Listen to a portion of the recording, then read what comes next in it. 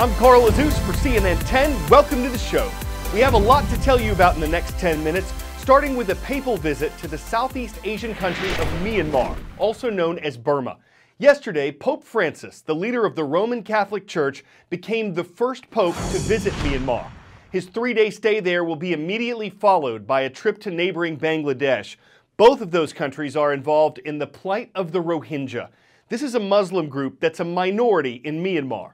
The country has a population of more than 55 million, most of them Buddhist. Fewer than a million people there are Rohingya. Most of them live in a western state of Myanmar that partly borders Bangladesh, and more than 623,000 Rohingya have crossed that border into Bangladesh. Why? The United States, the United Kingdom, and the United Nations all accuse Myanmar's military of ethnic cleansing, using violence to rid the country of the Rohingya. Myanmar's leaders have denied doing this, saying they're not targeting civilians, but instead terrorists who've attacked the military.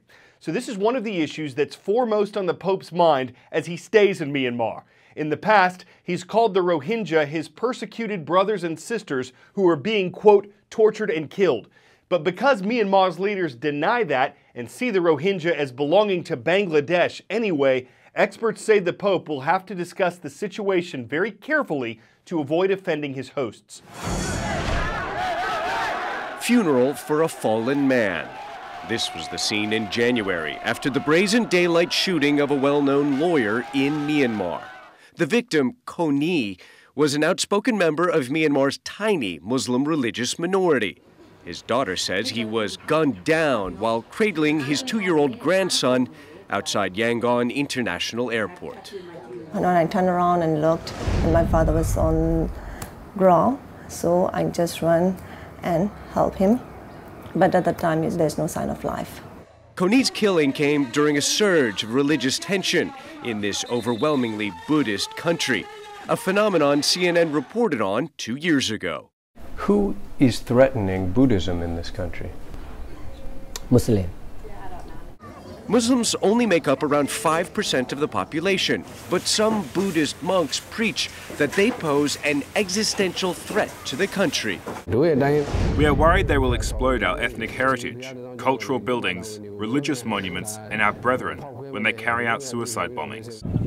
Nowhere is this fear of Muslims more acute than in Rakhine State, where a deadly attack by Rohingya Muslim militants against security forces last August triggered a campaign of reprisals.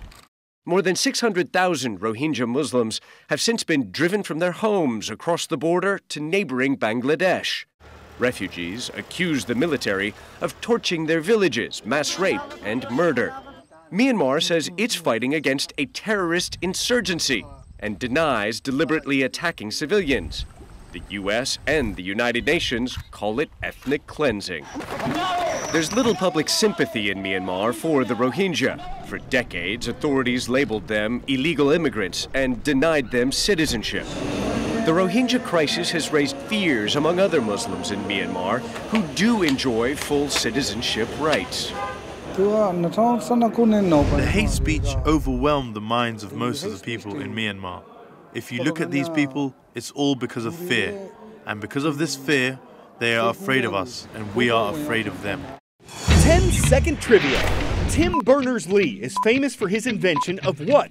The smartphone, the World Wide Web, the personal computer, or the iOS operating system?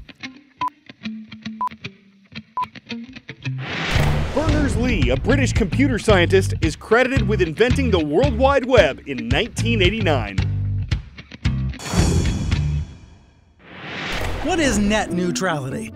It has nothing to do with a volleyball or a tennis court. The net refers to the internet, something that's become as necessary as water and power for most of us. The neutrality part is about keeping the net the way it is today. It's a set of rules the FCC approved in 2010 to prevent speed traps on the information superhighway. In other words, speeding up access to some sites and slowing down access to others or blocking certain sites entirely. So, are these rules a bad thing? It depends who you ask. The companies that deliver your internet, like Comcast, Verizon, and AT&T, have spent millions in lobbying money to get rid of net neutrality, arguing that having the government micromanage their business is not good for them or their consumers. On the other side are internet giants like Facebook and Google, streaming services like Netflix. They all argue the internet is a public good and should be regulated like one. They also say the companies that own the pipelines can play favorites. For example, a content provider like Netflix is in direct competition with Comcast, which owns NBC Universal and controls access to the internet for more than 20 million customers. You can imagine a scenario where NBC might want to speed up streams of its shows and slow down streams of its rival Netflix.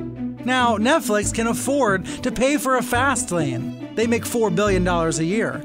But the next Netflix, some awesome startup, can't. So under current rules of net neutrality, which were approved during the Obama administration in 2015, internet providers like AT&T and Comcast are not allowed to speed up or slow down internet traffic to specific websites and apps, and they're not allowed to give priority to their own content. But now, during the Trump administration, the Federal Communications Commission has proposed doing away with those rules, but it would require any companies that block, slow down, or prioritize certain sites to publicly show it, and then the government would decide whether that was fair or not. The FCC's chairman says this would stop the government from micromanaging the internet, and the proposal is supported by telecommunications trade groups. But critics call this the end of net neutrality as we know it, and the proposal is generally opposed by consumer advocacy groups. The FCC is expected to vote on and approve the proposal on December 14th.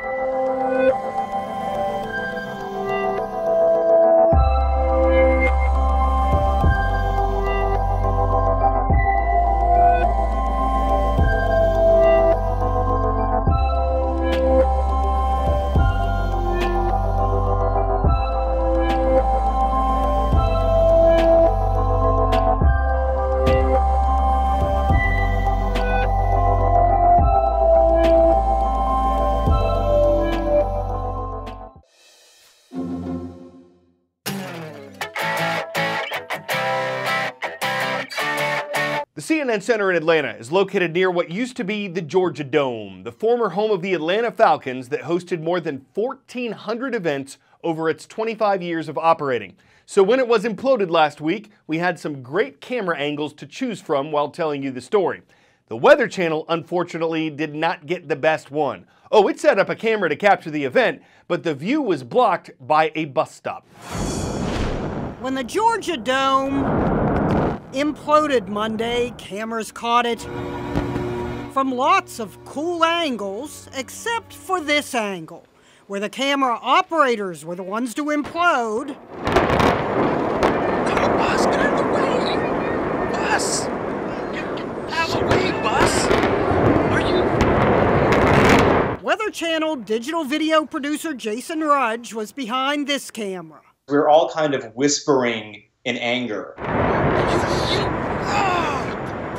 An epic photo bomb, the Weather Channel called it. Critics weren't so kind. Amateur, their spelling, should have been on the other side of the road.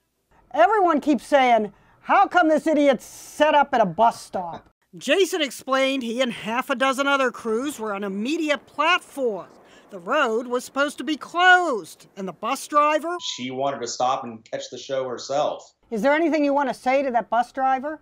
I'm not mad at her because if I was driving by, I would have wanted to see it myself. Jeanne Moos, CNN, New York. Even if it caused fireworks when the bus blew out his shoot by photobombing his angle, sparking his anger, leaving him fuming at the driver, and then collapse in a heat of deflatedness with nothing but rubble for footage to scrape back to the studio, sometimes, even when things go up in smoke, you still capture a great story that makes others erupt with laughter. I'm Carl Azuz for CNN 10.